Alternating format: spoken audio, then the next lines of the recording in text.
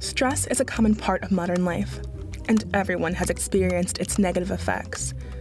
Many people even suffer health impacts from chronic stress.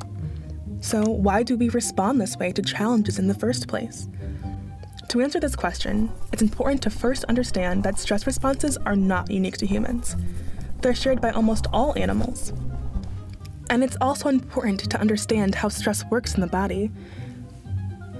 In vertebrates, stress responses are coordinated by hormones called glucocorticoids.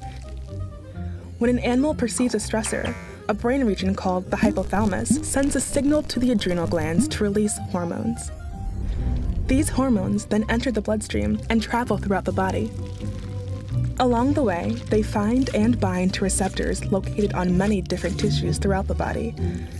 By binding at these receptors, hormones turn on or off the expression of genes.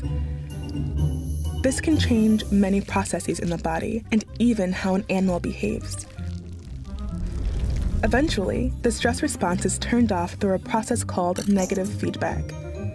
This happens when glucocorticoids bind to receptors in the brain, putting a stop to the secretion of further hormones, and eventually returning gene expression to normal levels. In this way, tiny glucocorticoids have far reaching effects for the whole body. At high levels, they can increase weariness, mobilize energy, and boost some types of immune function, these kinds of changes help us to cope effectively with major threats to survival, like getting out of the way of a predator. But while this kind of response is important when facing challenges, activating it too often, too strongly, or at the wrong time can be costly. That's because during a stress response, energy and resources are devoted to coping with the immediate threat instead of other important things like caring for offspring or searching for food. Over time, responding to many brief challenges can cause an individual to become chronically stressed. Some individuals respond to challenges differently from others depending on how strongly or for how long their bodies release hormones. This can be good or bad depending on the environments that they are in. For example, in dangerous environments, birds that respond more strongly to challenges are more likely to survive. Over time, this results in the population evolving a stronger stress response. On the other hand, in relatively safe environments, responding strongly to stressors can be bad. In these safe environments, natural selection favors less stress responsive individuals. Over time, this results in the evolution of a weaker stress response. But the best way to respond to stress depends not just on how dangerous the environment is, but also on what else might be affected by responding too strongly. For example, when birds have new chicks, they have more than themselves to think about.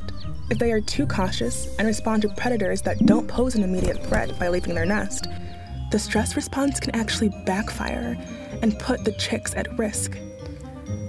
Trade offs like this can affect how stress responses evolve and how they change across seasons, life stages, and environments. This evolutionary history might help to explain why some species deal with new challenges better than others. Studying how birds and other animals respond to stress helps us understand why we respond to challenges in the ways that we do. Responding strongly to challenges probably helped humans survive throughout much of our evolutionary history. But now, that same machinery is activated in response to the challenges of modern life. Research on birds and other animals has revealed a lot about why we respond to stress this way. But what will happen next? Now that our environments are very different from the ones we have faced in the past, will our stress responses evolve too? Will we ever stop stressing the little things? There are still so many questions out there to answer,